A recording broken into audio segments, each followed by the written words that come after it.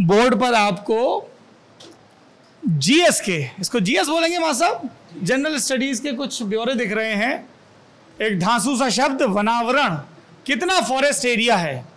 और घनत्व के आधार पर वन के प्रकार, और सरकारी आधार पर प्रकार। रक्षित, संरक्षित, आरक्षित। आप सोच रहे होंगे कि ये सौरभ द्विवेदी तो यूपी का हालचाल लेने की यात्रा पर गए थे। ये ये सब जीएस की पढ़ाई क्यों करने लगे? काहे से कि हम दरोगा बनना चाहते हैं। और आज जब हम आपसे मुखातिब हैं तो साढ़े नौ हज़ार के लगभग भर्तियाँ आई हैं यूपी में। और हम एक ऐसे कमरे में मौजूद हैं, जहाँ तमाम नौजवान लड़के लड़कियाँ हैं, जो बड़े होके तो क्या दरोगा बनना चाहते हैं? बड़े हो गए और अब दरोगा बनना चाहते हैं तो पढ़ाई कर रहे हैं उसकी। और हमको इन लोगों ने बताया है कि दरोगा का इम्तहान बहुत मुश्किल होता है। तो आप देख लो ये हमारे प्रदेश का भविष्य है। खाकी वर्दीधारी हैं इनमें से कुछ दरोगा बनेंगे? क्यों भैया बनोगे ना? हाँ? क्या नाम है? विकास कुमार। विकास दौड़ लगाते हो? Yes sir. 28 मिनट में नहीं लगानी है 24 में लगानी है? Yes sir. ठीक है। कितने भले लोग हैं अभी देखिए ये लोग जब थाने में पहुँचेंगे तो कितने सख्त हो जाएँगे तो हम इन लोगों से बात करेंगे। और ये बातचीत कहाँ पे हो रही है? ये बिजनौर ज़िला है, बिजनौर शहर है, ये हमारे नए बने मित्र हैं, इनका नाम विकास चौधरी जी है। इनका ये कोचिंग संस्थान है। तो आप में से कई लोगों ने कहा था कि लल्लन टॉप इतने लोगों से बात कर रहा है, लेकिन लड़कियों से, महिलाओं से क्यों नहीं बात कर रहा है?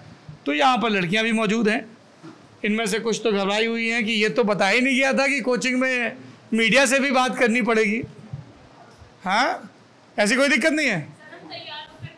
आप बिल्कुल तैयार होके आती हैं। अरे आप लोग बिल्कुल तैयार हैं मुश्किल वक्त कमांडो सख्त आप जिस प्रोफेशन में जा रहे हैं वहाँ तैयार होने का समय थोड़ी मिलता है। कभी भी कुछ भी हो सकता है। क्या नाम है आपका? सर हम ऐसे वाला तैयार होने के लिए नहीं बोल रहे हम वैसे तैयार मतलब ड्रेसअप होकर के आते हैं अच्छे से। मैं ड्रेसअप के लिए ही बोल रहा हूँ। आपका नाम क्या है? सर शिवप्रिया। हाँ मैं यही कह रहा हूँ कि आप जिस फोर्स में जा रहे हैं वहाँ पे आपको तैयार होने का वक्त नहीं मिलता है। मेंटली आपको हमेशा चार्ज रहना पड़ता है। तो शिवप्रिया ये बताइए आपने क्या पढ़ाई की है? सर मैंने बीएससी किया विद मैथ्स मैथ से बीएससी किया है? यस सर फिर ये दरोगा बनने का इरादा कैसे आया? सर अब खुद से मतलब कि खुद का था कि अपना कुछ करना है इसलिए लड़कियों को अब कोई बिज़नेस तो कराता नहीं है लेकिन अगर हम जॉब के लिए ट्राई करेंगे तो वो हम कर सकते हैं।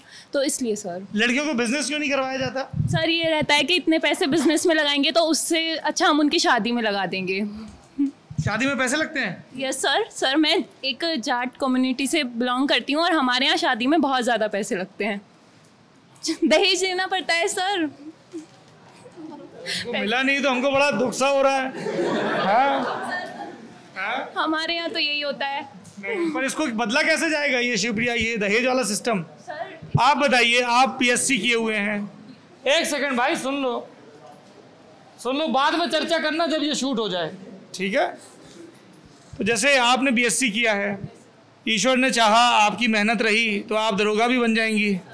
तो पैसे किस बात के देने लड़के वाले को? सर यही तो है ना कि इसीलिए जॉब करनी है ताकि कोई पैसे मांग ही ना सके। मांगने से पहले दस बार सोचे कि हाँ इनसे दहेज के लिए बोलना है या नहीं दरोगा बन जाओगी तब तो पैसे भी नहीं मांगेंगे। औरों को भी नहीं देने दूँगी पास वालों को भी। दरोगा पैसे देता नहीं है। यस सर सर लेना भी पीछे से कह रहे हैं कि लेता है। सर जिस तरह से ये लेने के लिए बोल रहे हैं मुझे इस तरह से लेने भी नहीं है। बिल्कुल। जब आपके जैसे बहादुर अफसर बनेंगे और तभी ये भ्रष्टाचार दूर होगा है ना? तनख्वाह भी ठीक ठाक होती है मेरे ख्याल से। सर भ्रष्टाचार कहीं ना कहीं हम ही से शुरू होता है और हम ही से खत्म होता है। आपने बहुत दुरुस्त बात कही शुक्रिया जी। बड़े बड़े सेमिनार का भी जिस यही होता है है ना? हम सब लोग किसी दूसरे पर उंगली उठाते रहते हैं। तो आपने जब ये इरादा किया कि आपको पुलिस में दरोगा बनना है तो घर वालों की रिएक्शन क्या थी? सर अभी तो उनको ऐसा लगता है मैं कर नहीं पाऊँगी। ऐसा क्यों लगता है उनको? सर उनका क्योंकि कोई इंटरेस्ट नहीं है कि हाँ मेरी जॉब ये होता है कि अगर एग्ज़ाम क्लियर है जॉब लग गई तो ठीक है नहीं लगी तो शादी तो इसकी करनी है ही। मैं चाहता हूँ कि इस तरह का भी कोई कानून बने। हैं भाई साहब आप बताइएगा कि मैं सही चाहता हूँ कि गलत चाहता हूँ? एक इस तरह का कानून बने, जैसे लड़कों के ऊपर ये दबाव होता है ना, कि भाई कुछ ना कुछ तो करना ही ज़्यादातर लड़कों के ऊपर, ताकि एक आपका फाइनेंशियल सोर्स रहे, नौकरी करो, कारोबार करो, लड़कियों के लिए भी वैसा ही होना चाहिए। तो उसके आऊँगा आऊँगा तो उसके दो फ़ायदे होंगे। एक तो ये दहेज का झंझट खत्म होगा, है? भाई लड़की खुद भी काम कर रही है, आपका लड़का काम कर रहा है, कोई ऐसा तो है नहीं कि लड़के के कुछ सोने के पर उगे हुए हैं? ऐसा तो नहीं है ना। तो इक्वालिटी आएगी और दूसरा लड़कों से भी बोझ कम होगा। जब लड़का लड़की दोनों काम करेंगे गृहस्थी बढ़िया चलेगी। क्या नाम है आपका? जी आदित्य। बताइए आदित्य साहब ये क्या तुम लोग क्यों दहेज लेते हो? सर दहेज मतलब कोई जिनकी एक संकुणी मतलब सोच होती है वो दहेज लेते हैं। तुम नहीं लोगे? नहीं सर। एकदम कैमरा कैप्चर कर रहा है। सब पूरा बताओ नाम पता। ये देखो ये लड़का कह रहा है कि ये दहेज नहीं लेगा। और सुनो संकल्प के नाम पे भी नहीं लोगे कि जितना जी लड़की के पिता संकल्प के नाम पे भी नहीं लूँगा? नहीं लूँगा सर। मैं एक जाट कम्युनिटी से आता हूँ, वहाँ पे मतलब ये प्रथा चलती है, मैं ही आगे बढ़ के नहीं लूँगा, सर। यार, आप लोग ये कह रहे हो कि जैसे उन्होंने भी कहा, आपने भी कहा कि जाट कम्युनिटी से आते हैं, प्रथा चलती है। मैं बहुत ज़्यादा पर्सनल इन्फॉर्मेशन नहीं दे सकता हूँ कैमरे पर। पर यार, मेरा तो अनुभव ऐसा नहीं रहा मतलब मैं जिन जिन लोगों को जानता हूँ, है ना, जो मेरे अपने हैं वहाँ तो ये दहेज वहेज का झंझट नहीं हरियाणा में। यहाँ पे मतलब दहेज मतलब क्या होता है कि दुनिया दिखाना चाहती है कि हमारे पास इतना कुछ आता है। मतलब आ, एक मानसिकता बन गई है कि मतलब लड़कियों की तरफ़ से इतना मिला कि भाई किसी को इतने रुपए मिल गए कि भाई ये बहुत ज़्यादा रुपए हो गए हमारे लिए। आया क्या नहीं तेरी शादी में क्या आया क्या नहीं आया कितने की शादी हुई ये है। अरे मेरी हमारे यहाँ शादी में अगर लड़की है तो लड़की का पार्टनर आया जीवन साथी आया मतलब हमारे परिवार में एक मेल मेंबर जुड़ गया। लड़का है तो एक लड़की आई बहू आई एक फीमेल मेंबर जुड़ गई। है? और वही है आया मतलब उसके गुण अवगुण सदगुण। एक सबसे बड़ी समस्या सबसे सर। समस्या ये है कि हमारे यहाँ पे कोई कानून बनता है ना तो एक जो हमारी जुडिशरी है जुडिशरी में बैठे कुछ वकील लोग उसका एक तोड़ निकाल लेते हैं कि मतलब जो इसमें कानून में जिसके ऊपर ये कोई धाराएँ लगेंगी इसको बचाया कैसे जा सकता है? सर सबसे पहले तो मैं थोड़ा टाइम लूँगा दो मिनट आराम से तसल्ली से भाई साहब। सर मैं भी जाट कम्युनिटी से बिलोंग करता हूँ। सबसे पहले तो सर एक बात है हमारे यहाँ जैसे आप पहले ज़मीन देखते थे हमारे यहाँ जो जाट परिवार से थे पहले वो ज़मीन देखते थे अब से पाँच साल पहले पहले तक। और अब देखते हैं सर जॉब अगर लड़की की शादी के लिए जाएँगे तो पहले तो फैमिली देखेंगे कि फैमिली सम्मानित है या नहीं। और उसके बाद वो जाएँगे और गवर्नमेंट जॉब देखेंगे कि आपकी गवर्नमेंट जॉब है या नहीं। और उसके बाद दहेज के लिए बोलने की तो आवश्यकता ही नहीं होती। वो खुद ही बोलेंगे कि आपका है और हम दे देंगे। सबसे बड़ी बात तो ये है। मतलब सर लड़कों वालों का कुछ नहीं है। लड़की वालों की मेंटेलिटी ही ऐसी है। तुम तुम्हारा नाम क्या है? जी मोंटी चौधरी। मोंटी तुम दहेज लोगे? नहीं सर मैं नहीं लूँगा। अभी मैं एक सेकेंड। अभी जब तक ये वीडियो खत्म होगा मैं आपसे दावा कर सकता हूँ कि इस हॉल में बैठे आधे बालक ऑन कैमरा यही कहेंगे कि हम दहेज नहीं लेंगे। पर कैमरा बंद होते ही दुनिया बदल क्यों जाती है? सर उसका कारण है सर। सर हम सुनो मोंटी बता रहे हैं कि क्यों नहीं लेंगे हाँ। सर उसका कारण है हमने अपनी सिस्टर की शादी की है दो ताऊ जी की बेटी की शादी हुई है। हम उन्होंने कोई दहेज की डिमांड नहीं की और हमारा भी यही था कि जो दहेज मांगेगा हम शादी नहीं करेंगे। और अपनी स्वेच्छा से जो होगा वो हम देंगे वो तो सब देते हैं। और सर ये भी तो मेंटलिटी लड़की वालों की गलत है कि गवर्नमेंट जॉब होगी हम तभी शादी करेंगे। आप आप पूछ लीजिए। ये मोंटी के ऊपर सरकारी नौकरी का प्रेशर इसलिए आया क्योंकि इसको शादी करनी है। और शादी करने के लिए सरकारी नौकरी ज़रूरी है। नहीं नहीं नहीं सर मैंने ये बात ये बात नहीं है। सरकारी नौकरी मेरा बचपन से मैं तुम्हारा बयान तोड़ मरोड़ के पेश कर रहा हूँ। जी जी बिल्कुल। सर मेरा दरोगा बनने का सपना इसलिए था जब मैं बहुत छोटा था मैं राजनीतिक फैमिली से बिलोंग करता हूँ। मेरे दादाजी चार बार प्रधान रहे निर्विरोध। ताऊ जी खाद्य समिति के चेयरमैन है इस समय सहकारी खाद्य समिति के। तो जब हमारे यहाँ दरोगा जी आते थे तो दरोगा जी का सबसे मज़बूत पद कहा जाता है। एक कड़ी में आप देख लीजिए बोलते हैं कि दरोगा का चालान और पटवारी का मिलान। कोई काट नहीं सकता। क्या बात है? कितनी उम्दा बात कही। तो इस तो इसलिए बचपन से ही जुनून था कि दरोगा। जी। और दरोगा ना बन पाए तो पटवारी। नहीं दरोगा ही बनेंगे बन कैसे नहीं पाएँगे? भर्ती पटवारी की भी आ रही है। कल ही कल ही कल ही उसका आंसर की आई है पैट की जो सरकार ने भी नई व्यवस्था लागू की है पैट के लिए लेखपाल वगैरह के लिए उसकी भी भर्ती आ रही है। तो मोंटी चौधरी जी की तकलीफ़ पर आप लोग ज़रा बताइएगा इधर भी पूछेंगे। मोंटी जी कह रहे हैं कि शादी के लिए राज़ी ही नहीं होते हैं। मुझे एक बात बोलनी है। अभी मोंटी ने बोला कि लड़की वाले खुद से दहेज देते हैं। तो जब लड़की वाले दहेज देते हैं तो लड़के वाले क्यों नहीं कहते कि हमें नहीं चाहिए? हमारे घर पर सब कुछ है क्यों दे रहे हो तुम ये सब? बात तो एक सेकंड एक अरे अरे अरे सुन लो भैया। ओ भाई साहब अभी जैसे हम नीचे आए तो चौधरी साहब ने कहा कि भाई साहब मिठाई खा लो। है ना? कोई बड़ी मशहूर सी मिठाई की दुकान थी? नंदी। नंदी स्वीट्स की दुकान थी। नंदी स्वीट को बता दीजिएगा, वीडियो में मेंशन हो गया है। तो हमने कहा कि भाई साहब, हम मीठा नहीं खाते हैं। हमारा मन नहीं था, हमने मना कर दिया। तो आप लोग भी सख्ती से मना कर दो ना, कि बिल्कुल कोई दहेज नहीं चाहिए और घर वालों को बोल दो, दहेज लोगे तो हम शादी नहीं करेंगे। ऐसा हो सकता है क्या? सर, हो सकता है, लेकिन घर में आता माल कौन मना करता है? घर में आता माल कौन मना करता है? कोई नहीं मना करता सर। सर अगर कोई ये चाहे कि मैं दहेज बिल्कुल ना लूँ ये चाहे और लड़की वाला उसे दहेज दे तो वो मना नहीं करता। वो कहता चल भाई जो दिया अपनी बेटी को दिया हमें कहाँ दिया? जो दिया अपनी बेटी को दिया हमें कहा जो दिया अपनी बेटी को दिया हमें कहाँ दिया? हमने तो भाई कुछ लिया ही नहीं ना हमने कुछ कहा है। अपनी बेटी को दिया है भाई इसका दामाद बढ़तेगा या ये बेटी बढ़तेगी? इसमें एक स्ट्रक्चरल फ्लॉ है इस आर्ग्यूमेंट में। बचाव है। अपना बचाव है बस थोड़ा सा के बेटी को दिया है बचाव है। अच्छा। और फिर इन्हीं लोगों के पास वो दहेज उत्पीड़न के मुकदमे भी विवेचना के लिए आएँगे। हैं? फिर तुम क्या कहोगे? जी आता हुआ माल कौन छोड़ता है?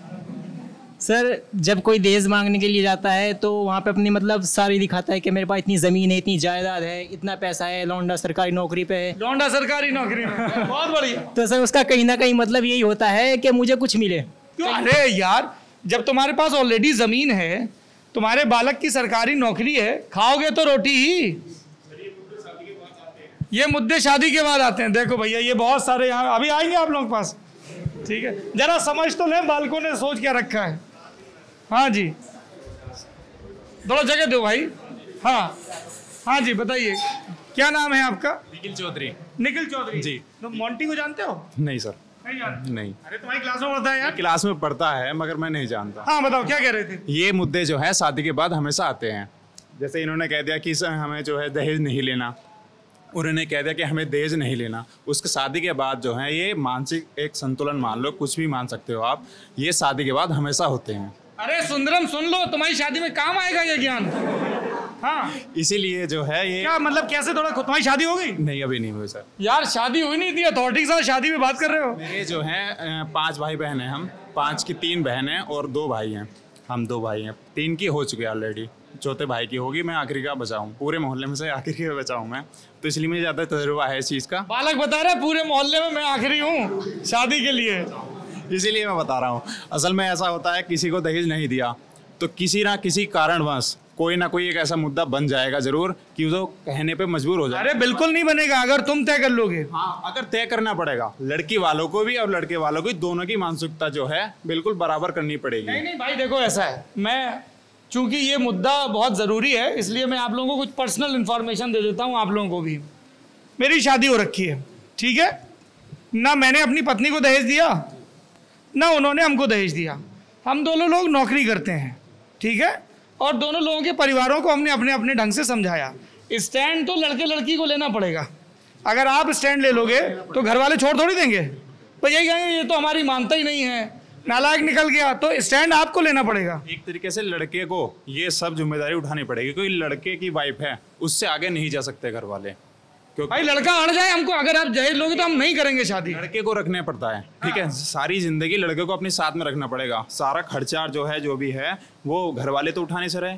अगर तो भाई लड़के को क्यों साथ रखना पड़ेगा? लड़की भी काम करती जो वो घर का दिन भर काम करती है अगर वर्किंग नहीं भी है तो वो भी बहुत बड़ा काम है। है? अगर कोई सिर्फ़ घर संभाल रहा है तो वो भी बहुत बड़ा काम है। लॉकडाउन में सबको समझ में आ गया। थोड़ा सा जो है ये मानसिकता सुधारनी पड़ेगी लड़की की नौकरी भी नया दहेज अरे दहेज चाहिए ही क्यों नया पुराना है यार? हाँ क्या कह रहे थे? नहीं सर मैं कह रहा हूँ कि घर का काम तो सबसे बड़ा माना जाता है। सबसे बड़ा माना जाता है। चलिए तो ये कुछ बात दरोगा की शुरू हुई थी। दरोगा से दहेज पे पहुँच गई। क्या सॉल्व कर रहे हो भाई साहब? सर मैं आपका क्वेश्चन सॉल्व कर रहा था। मैथ का क्वेश्चन सॉल्व कर रहे हैं। अच्छा ये भी बता दो तुम लोगों को भी आइडिया होगा कि रेट क्या चल रहा है आजकल दरोगा का दूल्हे के तौर पे? रेट सर इसका कोई रेट नहीं है। फ्लक्चुएट होता है। ज़मीन ओहो दरोगा प्लस काश्तकार कितने बड़े हैं? तो ये सब क्यों ये लड़के दहेज के पीछे पड़े रहते हैं? क्या नाम है आपका? पारुल चौधरी। पारुल बताइए। सर दहेज मना तो सब करते हैं लेकिन चाहिए सबको। कोई या तो मना नहीं करता लेकिन सर कहते हैं कि लड़की वाले देते हैं। लड़की वाले तो तभी देते हैं जब तुम डिमांड करते हो अगर अच्छी लड़की भी चाहिए पढ़ी लिखी सुंदर और सर दहेज भी चाहिए सबको। अगर लड़की अगर अच्छी ना भी हो तो चलेगा लेकिन दहेज के बिना बिल्कुल नहीं चलेगा सर। पारुल कह रही हैं और दुरुस्त कह रही हैं। कि सबका ये होता है डिमांड करते हैं कि लड़की एक बार कम सुंदर चलेगी। सबको लड़की भी सुंदर चाहिए दहेज भी चाहिए। फिर अगर थोड़ा एडजस्टमेंट करना पड़े तो लड़की कम अच्छी चलेगी पर दहेज तो अच्छा ही चाहिए। है भाई साहब ऐसी बात है क्या? नहीं सर। भाई कह रहा है कि नहीं? अरे एक से एक सेकंड हाँ हाँ। क्या विचार है आपका? थोड़ा बोल भी दो भैया। सर ऐसा कोई नहीं है कि ये ज़रूरी नहीं है कि सब दहेज ही मांगे। सब देखते हैं सब सबसे पहले फैमिली देखते हैं। ये ज़रूरी नहीं है कि लड़की माल कितना मिल रहा है कितना नहीं मिल रहा है इसका कोई वो नहीं होता। हाँ क्या कह रहे थे? सर दहेज के लिए सर लड़का पक्ष और लड़की पक्ष दोनों जिम्मेदार होते हैं। मैंने सर कुछ को ऐसे देखा है जो लड़की वाले बोलते हैं कि हमें इस लेवल तक का लड़का चाहिए। यानी हम शादी करेंगे बीस लाख तक की। तो सर जो लड़के जो बताने वाले होते हैं ना पहले बोले थे कि हाँ एक लड़का है जो ऐसे सर लड़की वाले भी होते लड़के दोनों सर दोनों जिम्मेदार इसके लिए सर। मतलब सिर्फ़ ब्लेम गेम से काम नहीं चलेगा पूरा ये व्हील टूटना होगा। अच्छा ये बताइए पिंकी नाम बताया आपने? पारुल। तो पारुल, जब आपने ये इरादा किया, जैसे अभी शिवप्रिया से बात कर रहे थे कि आप इंस्पेक्टर सब इंस्पेक्टर बनना चाहती हैं तो घर वालों की क्या रिएक्शन थी? सर घर वालों का रिएक्शन उन्होंने मुझे कभी मना नहीं किया और कहा है कि हाँ जॉब करनी चाहिए क्योंकि सर, सबके घर पे इतना अफोर्ड नहीं कर पाते सब लोग कि सर, इतना दहेज दे सकें। तो इसलिए अपने अपने आप को इस एविल मतलब इस योग्य बनाओ कि तुमसे कोई दहेज मांग ना सके क्योंकि बराबर हो जाओगे तो खुद दहेज कोई खुद ही नहीं मांगेगा। और फिर सर, हमारी ये, अब जब हमारे पास जॉब नहीं है तो हम कैसे भी लड़के शादी कर लेंगे, लेकिन सर, जब हमारी जॉब होगी तो हम क्यों करेंगे? किसी बेकार लड़के अच्छे से ही करेंगे ना। और सर, अपनी, अपने सेल्फ डिपेंड होने के बाद तो इंसान जो जो जिसकी इच्छा होती है वही करता है। और सर, जैसे सर ने कहा था अभी कि भैया ने कहा था कि लड़के लड़की वाले देते हैं। सर खुद पहले पूछते हैं लड़की वाले तभी देते हैं ना जब लड़के वालों की मतलब लड़के वाले चाहते हैं। लड़के वाले एक बार यूँ क्यों नहीं कहते कि हमें नहीं चाहिए बिल्कुल भी हमें तो लड़की अच्छी चाहिए बस। सर लड़की बी एड पढ़ी लिखी अच्छी अगर गवर्नमेंट जॉब होना तो बहुत अच्छी बात है। अगर एक सर एक दरोगा है ना तो चौबीस पच्चीस लाख में बिकता है एक दरोगा। चौबीस पच्चीस लाख? ज़मीन के साथ सर। और अगर- अगर लेखपाल पटवारी वगैरह हैं तो तीस लाख भी चलेंगे ज़मीन के साथ सर। लेखपाल पटवारी के तीस लाख हैं? हमको लगा था कि दरोगा लेखपाल पटवारी से अच्छा होता है नौकरी में। ज़्यादा कमाता है ना ऊपर के पैसे? वो कम कमाता है दरोगा से तो इसलिए। लेखपाल पटवारी ऊपर का ज़्यादा कमाता है इसलिए उसका रेट तीस लाख है। बाप रे। तो ये कैसे पारुल ये चीज़ें सुधर मानसिकता कभी दूर नहीं हो सकती क्योंकि सर जो जिन्होंने दहेज का कानून बनाया है सर क्योंकि उनके बच्चों की शादी में फरारी सवारी आ रही है तो सर कैसे दूर हो जाएगा ये कानून? क्योंकि उनके बच्चे बेखुद दहेज लेते हैं जिन्होंने कानून बना रखा है तो फिर कानून कैसे दूर हो जाएगा? सर ये दहेज का भी नहीं होता ये मानसिकता हमेशा रहेगी और है सर ये पहले से है और हमेशा रहेगी। सर कभी दूर नहीं होगी ये। हमेशा रहेगी। सर क्योंकि जो जिन जो कानून बना रहे हैं उनके बच्चों की शादी में दहेज मिल रहा है तो एक सेकंड भाई सुन लीजिए। Please be a good listener उनको मना करनी चाहिए ना सर। कानून बना रहे हैं वो लोग लेकिन उनके बच्चों की शादी में दहेज जा रहा है वो मना नहीं कर रहे हैं तो फिर सर कैसे खत्म होगा ये कानून? कैसे उदाहरण सेट कर रहे हैं ये एक मसला है। अच्छा ये बताइए अभी मैं आ, कुछ कल ही हाँ कल कुछ लड़कियों से बात कर रहा था जो जो एनसीसी की कैडेट हैं और बड़े होके आर्मी ऑफिसर मतलब आर्मी ऑफिसर बनना चाहती हैं। तो वो ये चीज़ कह रही थी कि हम जब रुड़की में जाते हैं एक्सरसाइज करने जॉग करने तो सब लोग बड़ा घूर घूर के देखते हैं। आप लोग हाँ तो सर सब जगह होता है घूर घूर के देखना। कोई एक जगह थोड़ी सड़कों पर चलो तो भी देखते हैं लोग। अगर अगर जीन्स की पैंट मतलब जीन्स पैंट पहन के लड़की जा रही है तो भी घूर घूर के देखते हैं। सर, एक जन कैसी मानसिकता है, सर? और इस एरिया की तो ज़्यादा ही है, सर, बिजनौर की कुछ। ऐसे घूर घूर के देखते हैं लड़कियों को। अगर लड़की है हाँ शाम के टाइम कहीं जा रही है तो उसको बार बार देखेंगे दो तीन बार देखेंगे कि हाँ लड़की इस टाइम जा रही है, कहाँ जा रही है, कहाँ, कैसे आ रही है। सर, बहुत देखते हैं। ये तो यहाँ का कल्चर बहुत ज़्यादा है, बाहर तो इतना नहीं होगा। मैं तो बाहर नहीं गई हूँ, सर, लेकिन यहाँ पर तो बहुत ज़्यादा है मानसिकता बिजनौर एरिया में तो कुछ ज़्यादा ही है। क्योंकि अगर शाम के टाइम भी लड़की घर से बाहर जा रही है ना, कहाँ जा रही है, क्यों जा रही है? घर पे रहना चाहिए कहीं नहीं जाना चाहिए। सर ऐसी मान लड़कों को क्या लेना देना कि तुम कहाँ जा रही हो? देखते तो है ना बार बार कि ऐसे ऐसे करके देखते हैं। सर देखते तो है ना। मैंने फेस क्या है सबको सर मैं देख रही हूँ मैं आती जाती हूँ तो मुझे पता नहीं है। सर सबको पता है। लड़कियों से आप पूछ लो और लड़कियों से अब उनको पता होगा सर। देखो आप लोग हंस सकते हो भाई इस पे। ठीक है ना? आप आपको हँसी आ रही होगी कि ये पारुल ऐसे रेंट कर रही हैं। तो मैं आपको दो उदाहरण देता हूँ। एक जो पॉलिटिकली इनकरेक्ट है जो बहुत दिया जाता है कि हम सब बहन बेटी वाले हैं। तो ये सबको तुरंत समझ में आ जाता है है ना? लेकिन अगर हम बहन बेटी वाले ना भी हों, मान लीजिए मेरे घर में कोई बहन नहीं है, तब भी मुझे ये हक तो नहीं मिल जाता ना कि कोई लड़की सड़क पे जा रही है तो मैं उसको घूर के देखूँ और अनकंफर्टेबल फील कराऊं। आप सोचो कि आप आप एक ऐसी जगह पर जाओ जहाँ पे आप इकलौते पुरुष हो और वहाँ पे हज़ार, दस हज़ार लड़कियाँ हैं, आप पे कमेंटबाजी कर रही हैं they are making you feel bad क्योंकि आप पुरुष हैं तो ये तो नहीं जमेगा ना। तो इस पर तो हँसी नहीं आनी चाहिए, बॉस। मतलब जिसने फील किया है, वही जानता है कि कैसा होता है वो, है ना? इनसिक्योर फील करना। आप सोचो, फ़र्ज़ करो कि आपको लग रहा है कि आप तो साहब लड़के हो। आप कहीं मोटरसाइकिल अकेले जा रहे हो, आपको चार से गुंडे घेर लें। डर महसूस होता है ना? तो डर तो आप लोगों ने फील किया है ना? तो कोई लड़की सिर्फ़ बाज़ार में चल रही है और डरा महसूस कर रही है तो वो लड़के किसी दूसरे ग्रह से तो आते नहीं है। So this is not funny ji. Sir, मेरा नाम प्रियंका है। और जैसे भी बोल आपने बताया अभी कि एनसीसी कैडेट आपसे बोल रही थी कि घूर घूर के देखते हैं। तो सर मैं भी एनसीसी कैडेट रही हूँ। मैंने बर्धमान से बीएससी किया और मेरे पास एनसीसी भी थी वहीं वहीं पर ठीक है? तो पूरे सर तीन साल तक मैं लड़कों के साथ ही रही हूँ और मैंने आज तक जो भी किया है जो भी पढ़ाई किया है लड़कों के साथ ही कर रही हूँ। लेकिन मुझे नहीं लगता कि लड़के घूर के देखते हैं। मतलब सर अगर लड़की के अंदर अन, मतलब अंदर से ऐसा है कि स्ट्रॉन्ग है वो अंदर से और उसे घर का सपोर्ट है तो उसे बिल्कुल डर नहीं लगेगा। डर किस चीज़ का है सर? बिल्कुल डर नहीं लगता है सर। मुझे नहीं लगता है कि कोई घूर के देखता है। अगर हम गलत हैं तो ही तो कोई कुछ कह सकता है। अगर हम सही हैं तो हमें कोई कुछ नहीं कह सकता सर। किसी के अंदर इतनी हिम्मत नहीं है कि एक लड़की को कोई चलते हुए लड़का कुछ कह सके।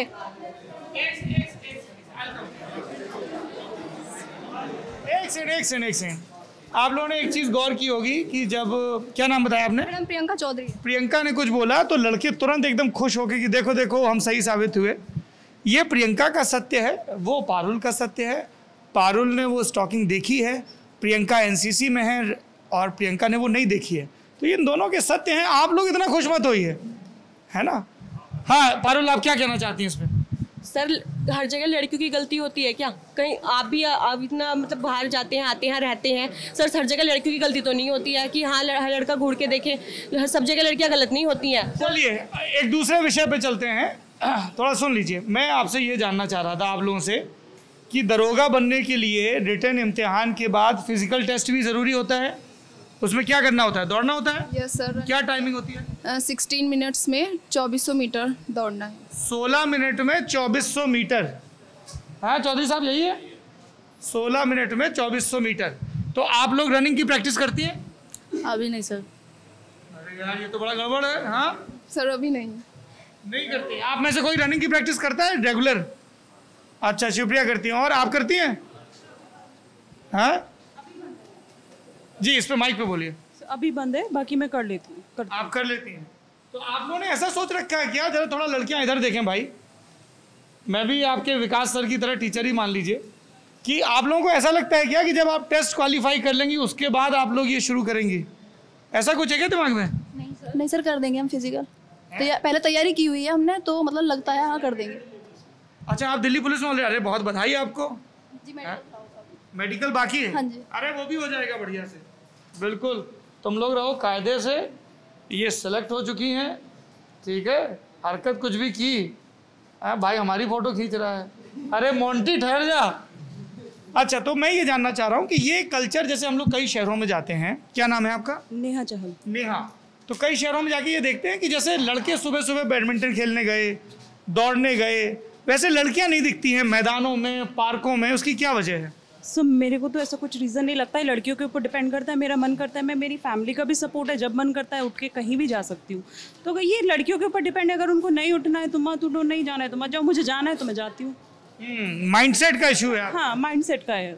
आप आप कन्विंस्ड हैं या आपकी कोई और राय? मेरी राय सेम है मुझे क्योंकि आप पक्के दोस्त हैं। नहीं सर मुझे छूट है मेरी फैमिली से ये सब करने के लिए। मुझे कभी मना नहीं किया गया तो मुझे लगता नहीं कि मतलब लड़कियाँ पीछे अपने माइंडसेट की वजह से पीछे हैं बाकी पीछे नहीं है। माइंडसेट की वजह से पीछे हैं ऐसा कह रही हैं ये। मैं मेरा सवाल कुछ और था। मेरा सवाल ये था कि खेल के मैदानों में जितने लड़के नज़र आते हैं उतनी लड़कियाँ क्यों नहीं दिखती हैं?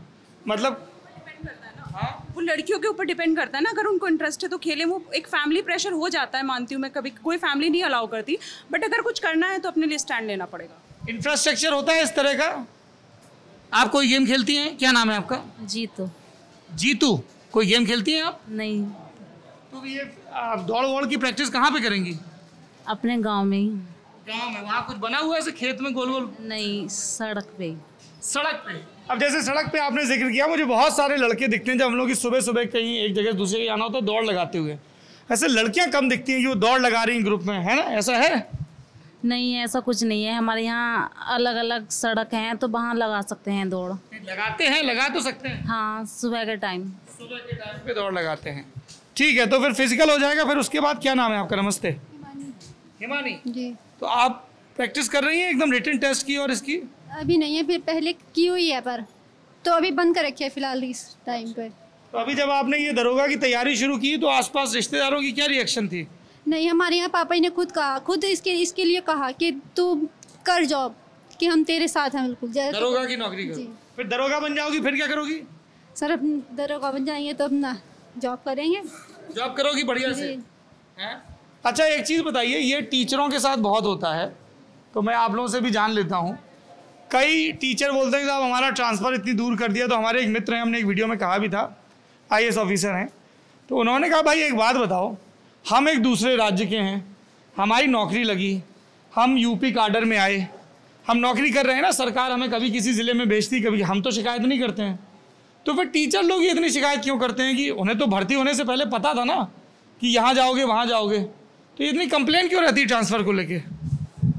जी। जी नहीं कंप्लेन क्यों रहती है गुरु? आपको कोई कंप्लेन नहीं रहेगी? नहीं सर कहीं भी भेज दें। जी। बिजनौर के हो वहाँ पे सोनभद्र भेज दिया जाएगा तो सर ट्रांसफ़र की पैरवी तो नहीं करवाओगे? नहीं सर सोनभद्र कहाँ पे है? सोनभद्र उत्तर प्रदेश में सर अरे उत्तर प्रदेश बहुत बड़ा है कहाँ पे है? इतनी जानकारी नहीं। इतनी जानकारी नहीं। अरे गुरु यार। ये है कि काम सोनभद्र कहाँ है? सर पूर्वी दक्षिण पंचल है वो उत्तर पूर्वी ज़िले दक्षिण पूर्वी ज़िले में? कहाँ पे पड़ता है सोनभद्र? नीचे की तरफ़ पड़ता है पूर्वी साइड में। आसपास के दो चार ज़िले जानते हो? आसपास तो गाजीपुर पड़ता है आ, फिर आप इधर मिर्जापुर बनारस लगता है उधर लगता है दक्षिण का बिंदु है। अरे भाई थोड़ा जिस सूबे के हो उसके जिलों की लोकेशन तो जान लो गुरु हैं? अभी कहो भाई कहते मुझे कौन सा नक्शा बनाना है? हैं? सारी बातें मैं कुछ कहना चाहूँगा। जी कहिए। जब तक ये आप हमारा एडमिनिस्ट्रेशन और पॉलिटिशियंस के ऊपर जब आप एक एग्जांपल मैं आपको बताता हूँ जब तक पॉलिटिशियन हर चीज़ के लिए एडमिनिस्ट्रेशन को जिम्मेदार ठहराते रहेंगे तो हमेशा ही खेल हो या कोई भी सुचारू व्यवस्था हो हमेशा ही खराब मिलेगी। जैसे आप समझिए हमारे कोरोना काल में यहाँ पे व्यवस्थाएँ खराब हुई थी तो मुख्यमंत्री महोदय ने एडमिनिस्ट्रेशन के ऊपर कार्रवाई करी जबकि पॉलिटिशियन के ऊपर आंसरेबल नहीं होते।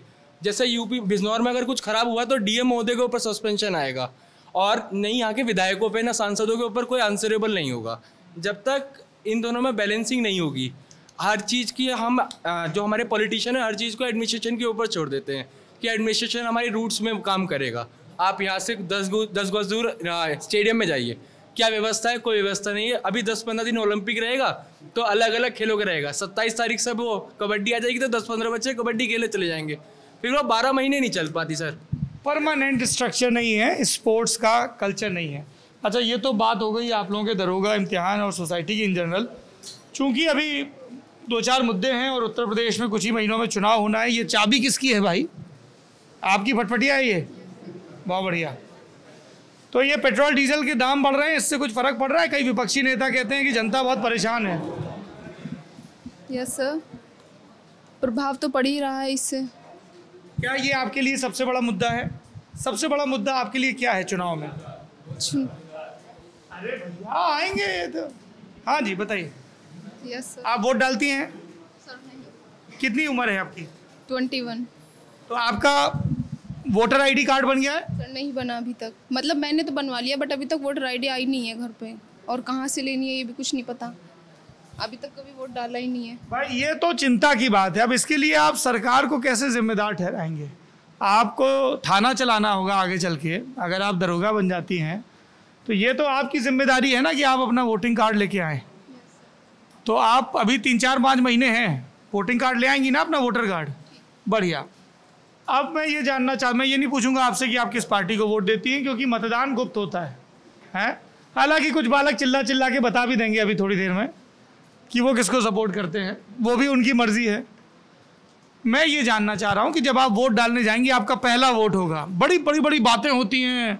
दुनिया भर में first time voter young voter voters choice वगैरह वगैरह, ऐसे अंग्रेज़ी में धांसू धांसू सी चीज़ें बोली जाती हैं। आप जब अपना पहला वोट डालने जाएँगी विधानसभा चुनाव के लिए तो आप क्या देख के वोट डालेंगी? मुद्दा, मुख्यमंत्री का चेहरा, पार्टी परिवार वालों ने क्या बताया? कैंडिडेट की बिरादरी बिजनौर का मुद्दा क्या मुद्दा रहेगा सबसे बड़ा आपके लिए? सर मेरे लिए मुद्दा ये है कि मैं बस मतलब सभी के लिए समान वो होना चाहिए संरक्षण होना चाहिए। हम लोगों को समान हर चीज़ में इक्वलिटी चाहिए। मतलब अच्छे कार्य जो नेता करेगा मैं उसको वोट दूँगी। जैसे कोई उदाहरण की कैसे इक्वलिटी थोड़ा? मतलब गर्ल्स बॉयज़ में इक्वलिटी होनी चाहिए। और मतलब सभी चीज़ों में इक्वलिटी होनी चाहिए और जो अच्छे काम करेगा सर कोई आपको लगता है नेता जो अच्छे काम करता दिख रहा हो? नेता होते ही तो नहीं है ऐसे। तो फिर वोट कैसे तय करोगी? फिर तो बात वहीं आ गई। ये भी तो दिक्कत है। ये एक दिक्कत है ये कई लोग फील करते हैं। जी इधर तो बात ही नहीं हुई अभी तक। नमस्ते। क्या नाम है आपका? ताहिश नाज। थोड़ा ज़ोर से बोलिए। ताहिश नाज। ताहिश नाम है। आपके लिए सबसे बड़ा मुद्दा क्या है आने वाले विधानसभा चुनाव में? सर मेरे हिसाब से तो एक, तो ताहिश की आवाज़ थोड़ी धीमी है आप लोग शोर करोगे तो बिल्कुल भी रिकॉर्ड नहीं होगी बोलिए। सर एक्चुअली जो है रोज़गार के ऊपर ज़्यादा ध्यान देना चाहिए। अब जैसे यूपी में अब इन्होंने ये भर्ती निकाली है युवाओं के लिए तो इसमें ये कहीं ना कहीं एक चुनाव से रिलेटेड है कि मतलब युवा जो हैं वो बढ़ चढ़ के वो जिस जो निकाली है मतलब वैकेंसी वगैरह तो उसमें वोटिंग करेंगे कि हाँ भाई, इन्होंने बहुत अच्छा काम किया है रोज़गार के लिए वैकेंसी वगैरह निकाली है हमारे लिए जॉब के लिए। जिस तरीके से मतलब पढ़े लिखे होने के बावजूद भी लोग मतलब ऐसे ही घूम रहे हैं। डिग्री लेने के बावजूद भी उन्हें नौकरी नहीं मिल पाती है, परेशान रहते हैं घर वालों के प्रेशर अलग घर वालों का प्रेशर होता है कि काम धंधा नहीं करते कुछ नहीं करते तो उस वजह से थोड़ा युवा जो होते हैं वो परेशान रहते हैं। युवा परेशान रहते हैं। रोज़गार ताइश कह रही है कि एक बड़ा मुद्दा है और ये भी पूछ रही है कि भाई ये इलेक्शन के वक्त ही वैकेंसी क्यों आती पहले क्यों नहीं? क्या नाम है आपका? दीक्षा। दीक्षा। आपके हिसाब से सबसे बड़ा मुद्दा क्या है? दीक्षा के लिए। बिजनौर की एक नौजवान लड़की के लिए जब वो वोट डालने जाएगी क्या वो फैक्टर होगा जिसको देख के वो तय करेगी कि मेरा वोट किसको? सबसे बड़ा तो रोज़गार ही है। सर हाँ मुझ- क्योंकि मुझे काफ़ी सेलेक्टेड है जूनियर असिस्टेंट में। जूनियर असिस्टेंट टाइपिंग भी कर चुकी है। बस ज्वाइनिंग का इंतज़ार कर रही है पिछले तीन साल से। तीन साल से? जरा विस्तार से बताइए भाई क्या मामला है? सर कुछ नहीं कोचिंग करते हुए भी काफ़ी टाइम हो गया और मैंने जितने भी एग्ज़ाम दिए हैं सभी में मेरा क्वालिफाई भी हुआ है। जैसे एनटीपीसी है उसमें मेरे अच्छे सेवेंटी प्लस मार्क्स हैं सेवेंटी सिक्स और लोअर पी सी एस है मैंने वो भी क्लियर किया हुआ है। जूनियर स्टैंड में मेरा सब चीज़ हो गई है बस ज्वाइनिंग रह गई है। लेकिन सर कितने साल से अटकी है ज्वाइनिंग सर ये वैकेंसी 2019 में आई थी और 19 से अब लगा ली धीरे धीरे प्रोसीजर चल रहा है और अब कुछ भी नहीं है सिर्फ़ डीवी रहा है वो भी नहीं हो रहा। सबसे बड़ी प्रॉब्लम बचा है? DV document verification document verification जी सर। और सबसे बड़ी प्रॉब्लम बस मुझे और सर बात ये होती है कि मतलब जब हम कहीं भी जाते हैं फिर यही बात होती है कि क्या कर रहे हो? कोचिंग काफ़ी टाइम हो गया करते हुए। प्रॉब्लम ये नहीं है कि सिलेक्शन नहीं हो रहा चाहे एग्ज़ाम आज हो लेकिन अगर हमें पंद्रह दिन बाद एक महीने बाद हमें ये पता चल जाता है ना कि हमारा सिलेक्शन नहीं है तो हम आगे बढ़ सकते हैं या फिर किसी और नेक्स्ट अधर में ना लटके रहे। हाँ अब दो साल से हम इसी चीज़ में लटके हुए हैं कि पता नहीं होगा नहीं होगा। अगर हमारा सिलेक्शन हो जाता है तो हम अपने घर या फिर घर रहते हैं या फिर कुछ भी चीज़ हमें जॉब करनी आगे बढ़ सकते हैं। दीक्षा आपने कहा कि रोज़गार सबसे बड़ा मुद्दा है। कई राजनीतिक पार्टियाँ हैं जो अलग अलग दावे करती हैं सपा बसपा रालोद कांग्रेस और भाजपा जो रूलिंग पार्टी है। आपको उनमें से किसका दावा दमदार लगता है रोज़गार के मामले में? सर रोज़गार में तो सारे एक से सही सारे एक से? जी सर। चलिए सब नेताओं को दीक्षा ने अपने रिपोर्ट कार्ड में फेल कर दिया। हाँ जी भाई साहब क्या नाम है आपका? विनेश तोमर। विनेश तोमर क्या है मुद्दा बिजनौर का? सर बिजनौर का मुद्दा सबसे बड़ा तो युवा रिटायर्ड फौजी हैं? बताइए युवा की आवाज़ तो सर रोज़गार ही है। बेरोजगारी। अच्छा कई सरकारी लोग ये बोलते हैं कि भैया सरकारी नौकरियाँ तो अब कम हो ही रही है। प्राइवेट में करो अपना काम करो स्किल सेट डेवलप करो। तो आप इस पर क्या सोचते हैं? ये बात सर सही है हमें चलना चाहिए। जैसे सब लोग रोज़गार की तरफ़ भी भाग रहे हैं। रोज़गार क्रिएट नहीं कर रहे।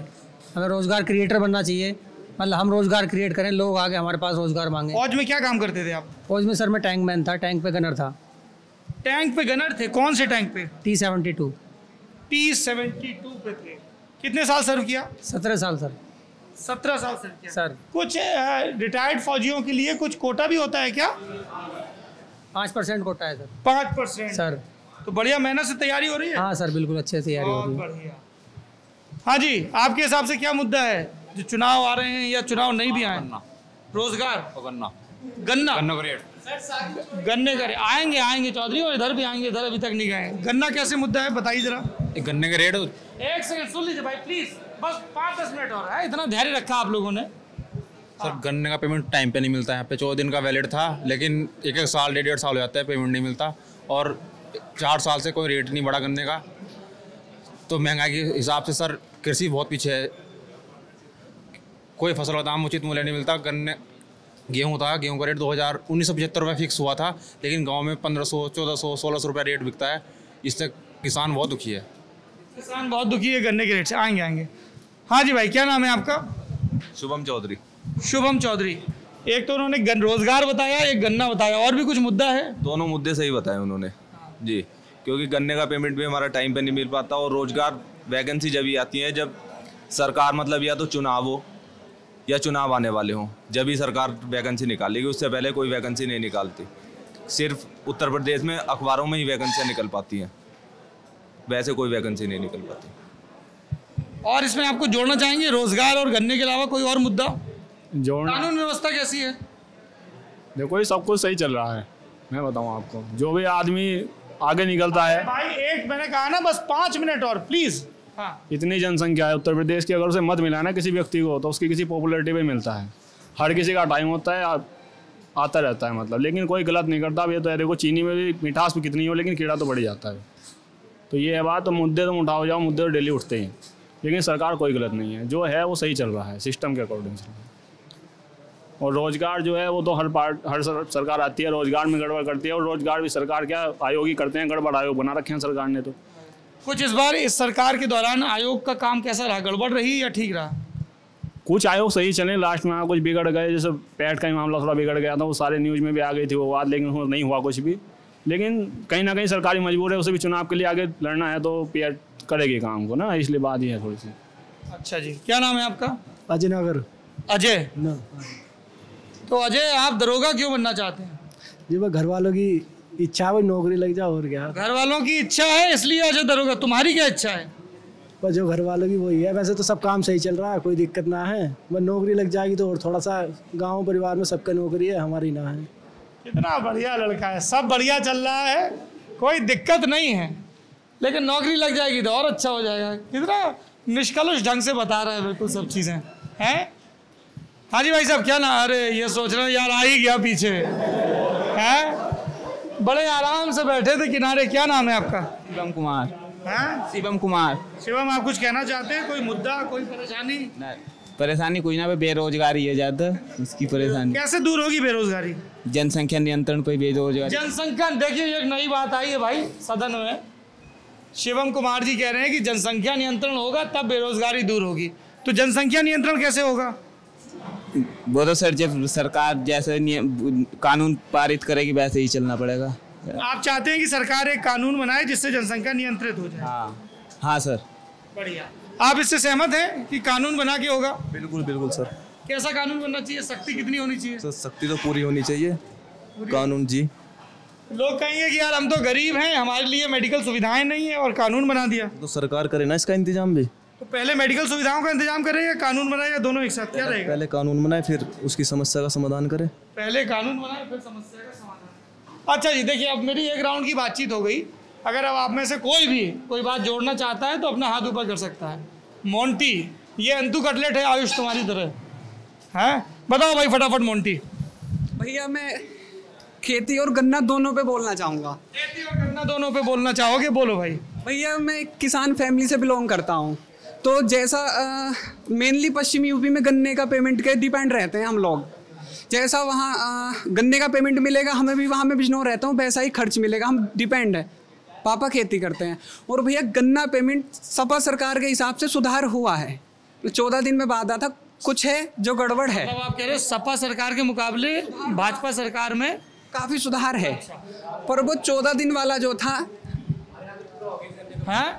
मैं टिक हमारा टिकोला मिल पड़ा है। मुजफ्फरनगर मीरपुर के पास से है। हमारा टिकोला का पूरा मिल फाइनल हो गया। मतलब पूरा पेमेंट पूरा पेमेंट अच्छा हाँ। हमारी द्वारी के शुगर मिल है उसका बीस परसेंट नहीं हुआ। और हमारे यहाँ एक बजाज ग्रुप की बिलाई शुगर मिल पड़ती है उस की तो बहुत शिकायत है। बहुत बुरी स्थिति है उसकी। चलो आप फिर भैया 2017 में गन्ने का रेट बढ़ा था। और अब तक गन्ने का नेट बढ़ नहीं बढ़ पाया। अगर गन्ने का रेट बढ़ जाएगा तो आप सरकार से खुश हो जाओगे? हाँ बिल्कुल खुश हो जाएँगे क्यों? केंद्र सरकार में काम अच्छे हुए हैं। जैसे? जैसे राम मंदिर था चलो वो वो अच्छा था फैसला निपट गया अच्छा शांतिपूर्वक। और 370 थी कहीं ना कहीं वो संविधान उसका चेंज था। वो दिक्कत थी वो दूर हो गया। और थोड़ा इसमें आप भर्ती की देख लो अभी जेल ऑर्डर वाली भर्ती हुई थी एग्ज़ाम कराया उनका रिज़ल्ट काफ़ी तेज दिया है। तो उससे कुछ संतुष्ट हैं। और सबसे बड़ी बात यह है कि इस सरकार में भू माफिया नहीं है। भू माफिया नहीं है थोड़ा एक्सप्लेन कर। सपा और बसपा सबसे बड़ी भू माफिया इनका सबसे बड़ा जीता जाता सबूत। इनके ज़िले के जो भी इनके क्या कहते हैं ना कार्यालय होंगे जिला कार्यालय वो हमेशा सरकारी ज़मीन पर ही मिलेंगे। इनके सपा या बसपा के। सपा का और बसपा का आप यहीं पर ही देख लीजिए इनके जिला कार्यालय हमेशा सरकारी ज़मीन पर मिलेंगे। ये सरकारी ज़मीन ही कब्जाते हैं और सरकार के वहीं पर ही अपने कार्यालय। अभी हमने तो देखा नहीं कि किसी और पार्टी के जिला कार्यालय भी सरकारी ज़मीन पर कब्जाए हुए होंगे। उत्तर प्रदेश का एक भी जिला ऐसा नहीं होगा जहाँ पे इन्होंने सरकारी ज़मीन कब्जा कर अपना कार्यालय न बना आप कह रहे हैं भू माफिया पे कार्रवाई हुई है? हाँ भू माफिया पे कार्रवाई हुई है कानून व्यवस्था बहुत अच्छी हुई है। अच्छा उधर जैसे किसान आंदोलन चल रहा है पाँच तारीख को मुजफ्फरनगर में महापंचायत है उसका कुछ विधानसभा चुनाव पे असर पड़ेगा? बिल्कुल पड़ेगा क्योंकि यहाँ पे जो जाट बेल्ट भी है और किसान का मेन जो इधर की शहर है शुगर मिल वगैरह है किसान का है खेती का है गन्ने का है तो उसका असर बिल्कुल पड़ता है यहाँ। किस तरफ़ जाएगा वो वोटर जो नाराज़ है? नहीं तो वो पार्टियों का भी तो इन्फ्लुएंस उसमें है सपोर्ट सारा है को, सामने कोई नहीं आ रहा है लेकिन सबको पता है कौन कौन सी पार्टियों ने सपोर्ट हाँ जी चौधरी जी। भैया सपोर्ट तो भी सभी कर रहे हैं पर वो ऐसा होगा जो आंदोलन कर रहे हैं अगर ये गन्ने का कुछ भाव में बढ़ोतरी करते हैं तो कहीं ना कहीं उसका बहुत बड़ा फ़र्क पड़ेगा। आंदोलन फिर धीमा पड़ जाएगा हाँ बहुत फ़र्क पड़ेगा यदि गन्ने का पेमेंट नहीं बढ़ता है। लोकदल का लोकदल का समर्थक कभी सपा के लिए वोट नहीं करने जाएगा। लोकदल का समर्थक सपा को वोट नहीं करेगा। क्यों? मैं सबसे बड़ा कारण ये है कि जाट कम्युनिटी जो है कभी भी सपा के कैंडिडेट पे वोट करने नहीं जाएगी 2013 की वजह से। 2013 की वजह से ये कह रहे हैं कि जो लोकदल सपोर्टर है वो सपा को वोट करने नहीं जाएगा। ये बड़ी इंपॉर्टेंट चीज़ है। एक लास्ट क्वेश्चन मैं आप लोगों से पूछना चाहता हूँ। ये कई हम लोग ज़िलों में घूमे तो कहा गया कि अब कानून व्यवस्था बहुत सुधर गई है। ख़ास तौर पर लड़कियों के हवाले से ये बात। है ऐसा आपको लगता है? क्या सोचना है आपका? जब सड़क पे चलती हैं तो सुरक्षित महसूस करती हैं या लगता है कि अभी भी गड़बड़ है? क्या है? नहीं सर कुछ कोई भी प्रॉब्लम नहीं होती जब हम घर से चलते हैं। बिल्कुल ठीक फील होता है। ठीक फील होता है। आप कुछ इसमें शुक्रिया कहना चाहेंगे लॉ एंड ऑर्डर कानून व्यवस्था। सर सड़क पर कितना सुरक्षित महसूस करता है नागरिक? सर बहुत सुरक्षित महसूस होता है। हर चौराहे पर आपको कांस्टेबल मिलेंगे और स्पेशली लड़कियों के लिए अलग से लेडीज़ कांस्टेबल वहाँ पर अवेलेबल होती हैं। अगर कोई प्रॉब्लम है तो आप उनको बोल सकते हो। वैसे ऐसे कोई प्रॉब्लम आती नहीं है। मैं यहीं लोकल से हूँ और मैं तीन किलोमीटर पैदल चल करके यहाँ तक आती हूँ। मुझे यहाँ से और अपने घर तक जाने में कोई भी प्रॉब्लम फील नहीं होती कि हाँ मुझे कुछ डर लगेगा किसी बात का। जी पारुल आप इसमें कुछ जोड़ना चाहेंगी? पहले से बेटर है। पहले से बेटर है। पहले क्या स्थिति थी? सर पहले तो मतलब बहुत कुछ सुनने को मिलता था लेकिन अब आसपास में ऐसा कुछ सुनने को नहीं मिला। लेकिन और मैं भी सर आती जाती हूँ लेकिन मुझे भी कोई प्रॉब्लम नहीं होती ऐसा आने जाने में। चलिए आपने इन नौजवान लड़के लड़कियों की जो दरोगा की परीक्षा की तैयारी कर रहे हैं और दहेज ना लेने का भी इरादा कुछ कुछ कर रहे हैं। कुछ कुछ बता रहे हैं कि साहब मामला क्या है? है ना? तो भैया बस विदा का वक्त हो गया सुन लो। तो आपने ये बातचीत सुनी, ये बातचीत आपको कैसी लगी? कमेंट बॉक्स में ज़रूर बताइए। और मेरे लिए ये कुछ बड़े ज़रूरी राजनीतिक और सामाजिक सबक हैं जो इन नौजवान लड़के लड़कियों के मार्फत हम तक पहुँचे। आप देख रहे हैं लल्लन टॉप यूपी। शुक्रिया।